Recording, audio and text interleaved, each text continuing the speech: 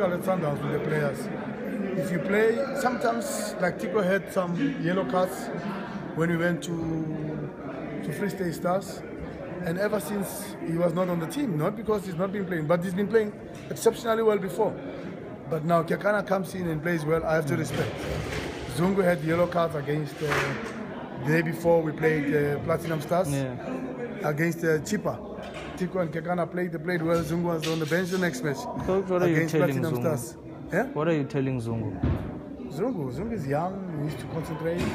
He's got the energy. He's got. He's, he's coachable. He's got the right attitude. And I moved him from number ten to number six. He didn't like it, uh, but he accepted it. But I told him that I've moved a lot of players from usual positions, and they've done exceptionally well. We were trying to move Mbekile. I don't know you are, you are aware to the right back, and uh, he's doing very well. We played him against Mazembe. He's doing very well. We we moved Reese to the centre back and uh, let's see what happens. So we move them, and then and sometimes it's not where you started. Maklaba was a winger, was a right winger, not even a left wing, left back, right winger at uh, Free State Stars. And then look at him.